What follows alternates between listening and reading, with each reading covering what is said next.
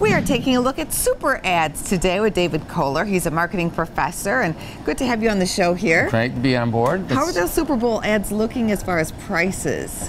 Well, the um, it's it's consistent that they raise. So I think the average price now for a 30 second spot is from 4.8 million to 5 million. Um, there's still a it, it consistently has gone up over time, and and you still see a need for it in terms of advertising. This is a big push.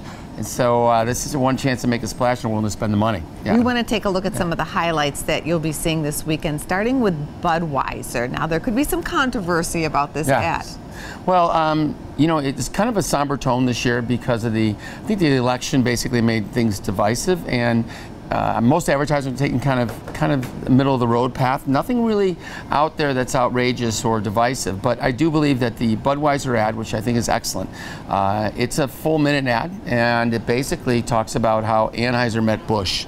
You know, most people don't know the story behind it, and it plays on immigration and how Busch had come over from uh, Germany and how he was kind of, uh, you know, people would make comments to him, and it kind of touches a a little bit on the immigration end, which is kind of interesting because, you know, Budweiser is the American beer, but it's owned by InBev, which is a that foreign is country. True. That but I thought it was really, you know, they always do emotional ads, and these ads are effective. Oh, Budweiser loves to tug at the heartstrings, and this, usually with the, the horses. Yeah, we this time they went with a.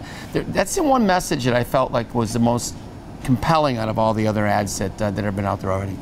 There's also a very, I think, risky ad with Hyundai. They're shooting some of this ad after the kickoff of the game. You, you know, an ad in progress. It's uh, it's not been done before. Um, I, I, think what, what, obviously what they're getting is the buzz, and people want to see how you do an ad. And that you know you have to keep pushing the envelope because you've seen these ads getting over time. They're evolving from either they're getting released early, uh, getting trailers out there, teaser ads which are out there too as well.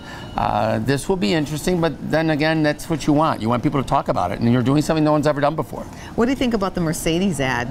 Uh, I, I, it's I think it's, it's, impactful. I think it's successful. What it does is basically it's an ad with, you know, in a biker bar and someone goes to a jukebox and plays Born to Be Wild and you see some, you know, some altercations within the bar and it's a rough crowd and uh, and then, you know, someone comes out and says, hey, our cars, our motorcycles are, are blocked and you go out there and you see the icon Peter Fonda and he's in his Mercedes, you know, in convertible and you see that uh, Born to Be Wild and it's kind of going back to the Easy Rider days.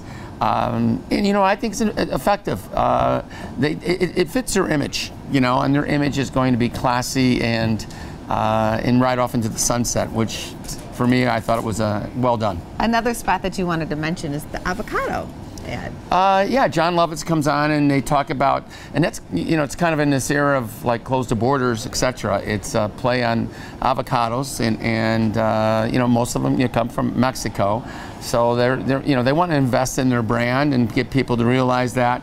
Um, but that's kind of not, it's not really meant to be a risky ad, but considering today's temperament and, it turned into the climate, it's like okay, we're, we're talking about an import from Mexico. It just yeah. makes me hungry for nachos. Yes, yes. Thank you for coming on the oh, show. Oh, you're welcome. All good. Thank you.